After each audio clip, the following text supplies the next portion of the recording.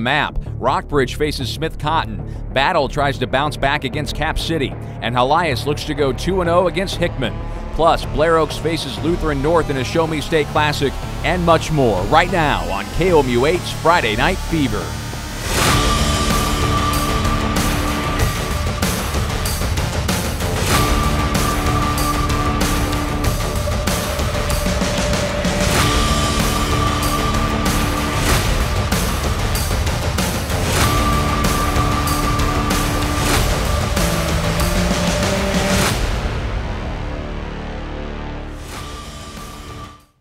It's week two FNF jumping right in with the conference battle at Battle. Spartans hosting Cap City on Como's north side.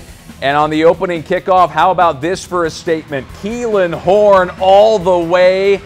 90 plus yards, it looks like. They can't catch him. 6 0 battle right out of the chute.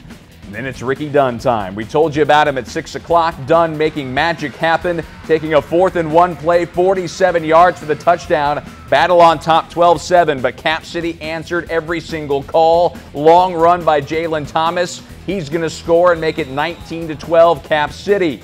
And then Cap City goes deep. How about this for a balanced offense? Jordan Gantz for the deep touchdown from Hayden Carroll. Cavaliers up 26 to 18. Cap City would end up winning this game, but look at this insane catch by Keylan Horn. What a grab, snagging it. Could be play of the week next week. But Cap City wins. That's their second victory, 2 0. That matches their win total in program history entering the year.